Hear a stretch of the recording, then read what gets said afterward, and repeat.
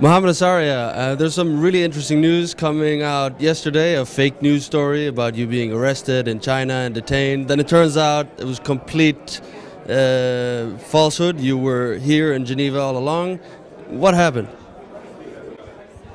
Good morning, Christian. Um, pleasure to be here in Geneva. I arrived here 48 hours ago. Um, was woken up yesterday with all these news stories going around. Very surprising to me that I had been purportedly detained in China when I was in Geneva, but uh, always a pleasure to be at the IMC conference in Geneva. I think it's a fantastic event. Um, shame that fake news has been circulating and has been picked up given uh, how obviously fake it is, especially given the gentleman can't even spell the word Caribbean in their article.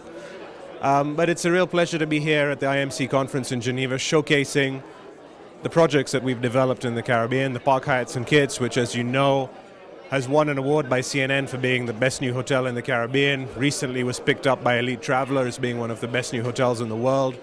Um, so we're really proud here to basically, you know, let our projects do the talking. We'll be opening the Kempinski in 12 months' time, which will be of equal uh, stature as the Park Hyatt, um, and starting construction soon on the Six Senses. So we put all this fake news behind us and we focus on what we do best, which is build, deliver, and fulfill our obligations.